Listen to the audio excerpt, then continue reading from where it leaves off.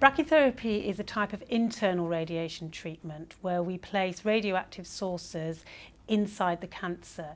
So unlike radiotherapy from the outside or external beam radiotherapy, um, the radiotherapy um, moves from the inside of the tumour to the outside of the tumour and that allows us to give a very high dose of radiotherapy over a very short distance, treating the cancer but sparing the surrounding normal tissue. It can either be um, a permanent or a temporary implant. Permanent implants, for example, most commonly used in prostate brachytherapy. Temporary implants, most commonly used perhaps in gynecological cancers.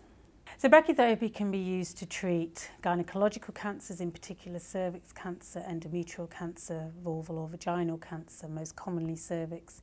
It can, can be used to treat prostate cancer, and those are the commonest areas that it's used to treat. But in addition, uh, increasingly we use to treat uh, breast cancer, uh, rectal cancer, anal cancer, esophageal cancer, head and neck cancer, skin cancers, and sometimes some cancers around the eye as well.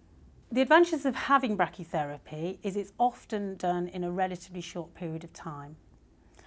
Um, it can often be targeted to the cancer, so therefore we can get a high dose of radiotherapy to the actual cancer, and it often means that we can limit the dose to surrounding structures compared to, say, external beam radiotherapy.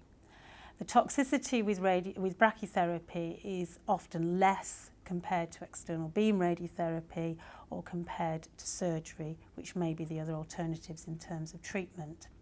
I think one of the disadvantages for patients is that they don't understand brachytherapy. So many patients are actually uh, somewhat apprehensive or scared of the treatment. When they actually have the treatment, they realise that it's not difficult treatment. It's less difficult than many other treatments. Um, but I think that is a difficulty because it's overcoming that fear and apprehension of patients.